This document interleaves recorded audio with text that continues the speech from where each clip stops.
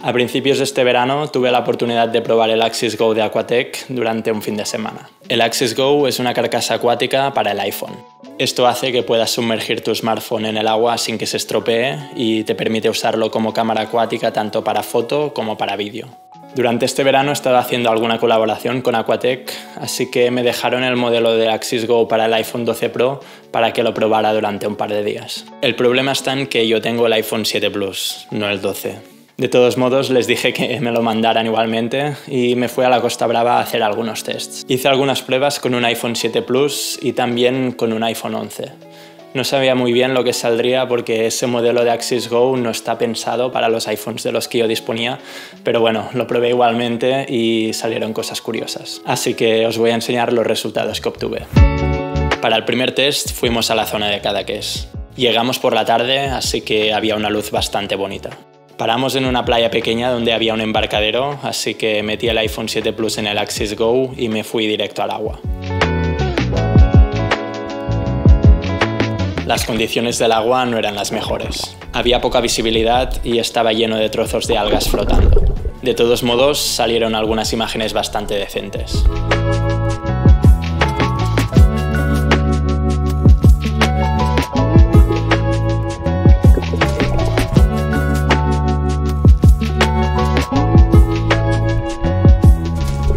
Me gusta mucho cómo quedaron estas fotos. Son así un poco más abstractas, pero creo que queda bien la forma de la superficie del agua con su textura y la luz entrando creando esos rayos.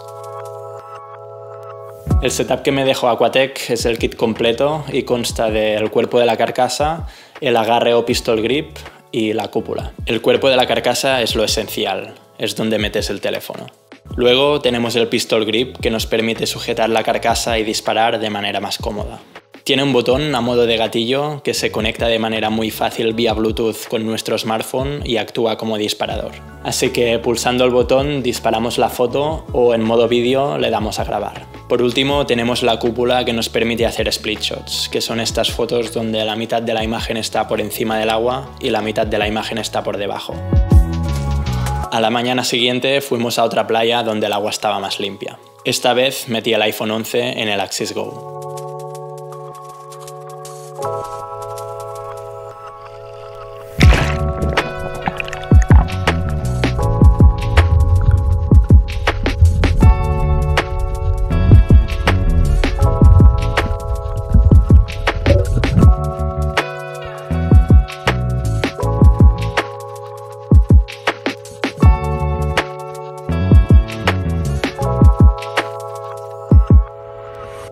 iPhone 11 pude probar la óptica ultraangular que lleva. Se obtiene un look bastante extremo que en el agua creo que funciona muy bien.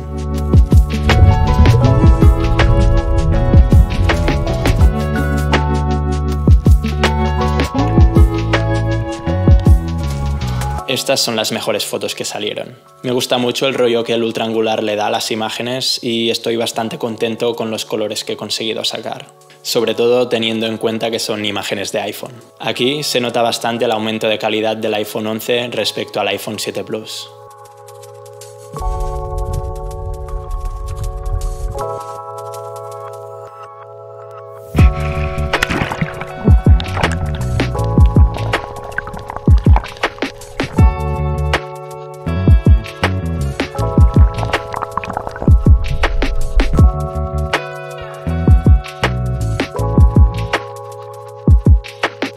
También probé el Super Slow Motion de 240 frames por segundo.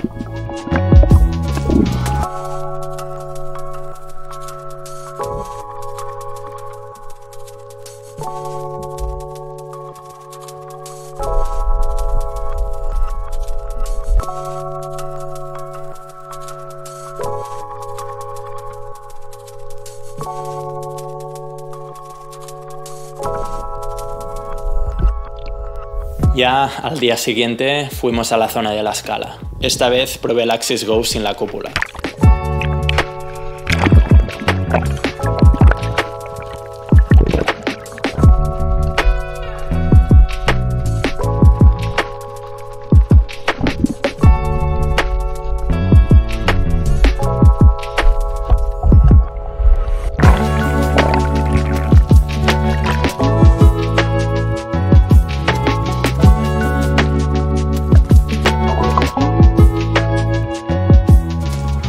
La cúpula, aparte de utilizarse para crear split shots, también se utiliza mucho debajo del agua porque te corrige el efecto de aumento que se genera en un entorno subacuático. No quiero ponerme muy técnico, pero así muy por encima, cuando utilizamos cámaras debajo del agua que el elemento frontal de la óptica es plano, obtenemos un efecto de magnificación. Esto es así por temas de refracción y de cómo actúa la luz debajo del agua. Por ejemplo, si utilizo un 24 milímetros, debajo del agua se va a ver más o menos como un 35 milímetros.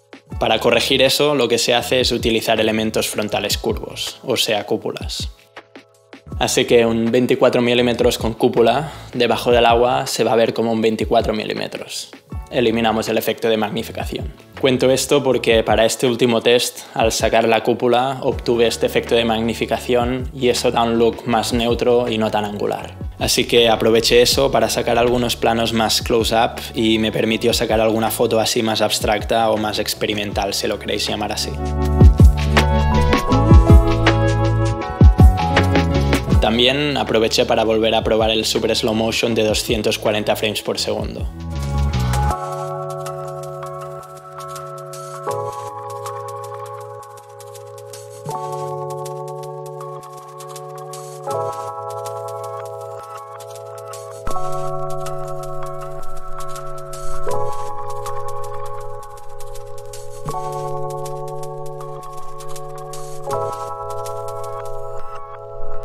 Y estas fueron las pruebas que hice.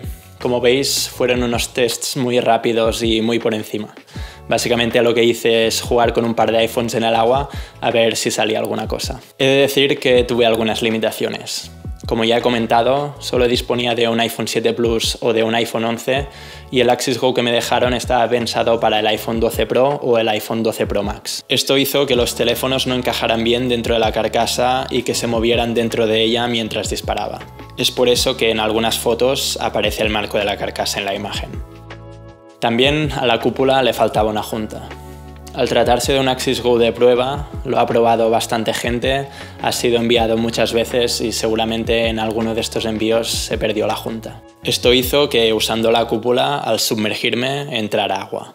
Es por eso que en algunas imágenes se ven elementos extraños en ellas y algunos clips quedaron arruinados. A pesar de esto, tengo que decir que estoy contento con algunos de los resultados que he obtenido.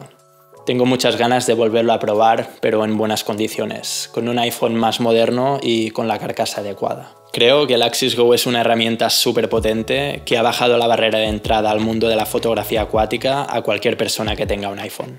Antes estábamos hablando de invertir miles de euros para poder disparar en el agua con tu cámara de fotos. Ahora con el Axis Go, por una fracción de eso, puedes empezar en esto de la fotografía acuática y obtener resultados de alta calidad. Si estáis interesados en el Axis Go o cualquier otro producto Aquatech, os dejaré un enlace en la descripción por si le queréis echar un ojo y también os dejaré un código con el que obtendréis un 10% de descuento en cualquier producto Aquatech. Espero que hayáis encontrado el vídeo interesante y nada más por mi parte. Merce por ver el vídeo y nos vemos en el siguiente.